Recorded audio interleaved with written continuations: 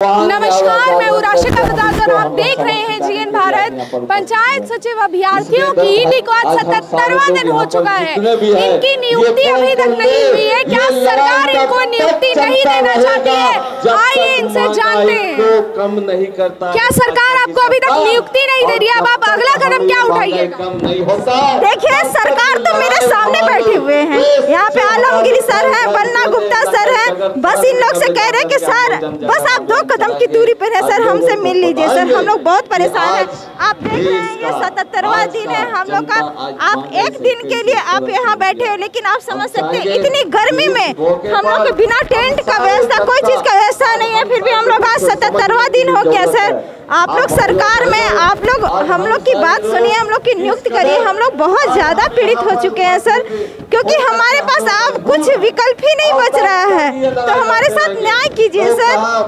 आपके साथ कांग्रेस विधायक है यहाँ पर बैठे हैं। क्या ये आपको अभी तक कुछ बोले नहीं है? नहीं कुछ नहीं बोलने आए हैं बस उन लोग चेयर पे बैठे हुए हैं और हम लोग यहाँ धूप में खड़े हुए हैं। समझ और आज हम लोग सड़क पे खड़े हुए सारी प्रक्रियाएँ पूरी कर ली है। हमारा डॉक्यूमेंट वेरिफिकेशन हो गया। नियुक्ति पत्र सिर्फ़ बाकी था। तो लेकिन देखिए, आज हम लोग रोड पे हैं। ये हालत हो चुकी है। तो बस सर से ये रिक्वेस्ट कर रहे सर हमारी नियुक्ति कर दीजिए, सर। आप यहाँ सामने बैठे हैं। कभी तो मेरे पास आइए और देखिए, हम लोग की दर्द जो है कितना गहरा है, कितना हम लोग फ्रस्ट्रेट हो चुके हैं, सर।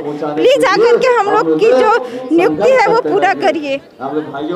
तो आपने सुना कि इनका क्या कहना है कि इनको अभी तक नियुक्ति नहीं मिली।